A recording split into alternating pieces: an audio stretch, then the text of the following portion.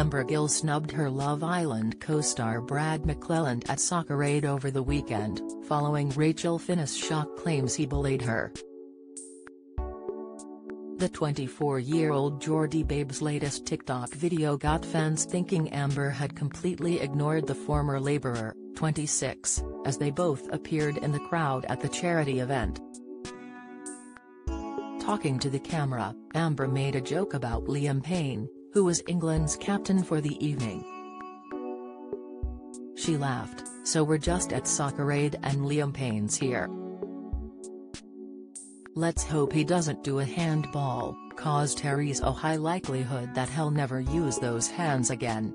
In the comments, many were in hysterics at her video, while other pointed out that Brad could be seen in the background. Brad being in the back, crying face emoji, one person wrote.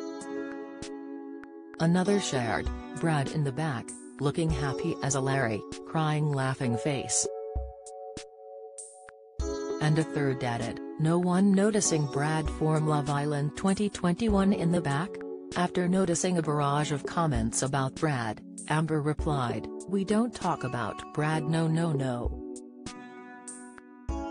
It comes after Love Island 2021 star Rachel recently claimed she is still being bullied by ex-Islanders a year after she went on the show.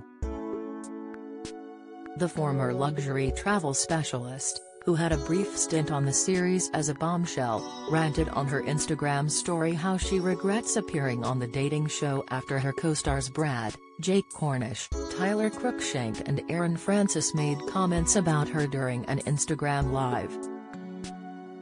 After seeing the hurtful remarks, where the boys laughed at her entrance as a bombshell, Rachel posted a lengthy message to her followers as she outed their behavior. She wrote, Despite everything that happened till now, I still saw the experience as a blessing. No matter how awful and manipulated it was I just took it as part of the experience as it led me to amazing things. But for it to be today we and I have actual nobodies mimicking me and discussing me publicly like a joke.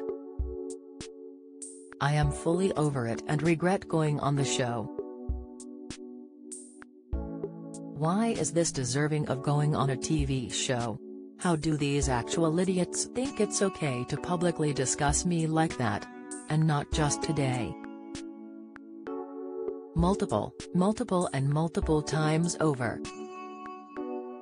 Today a year later and am still being bullied slash taunted openly for all to see.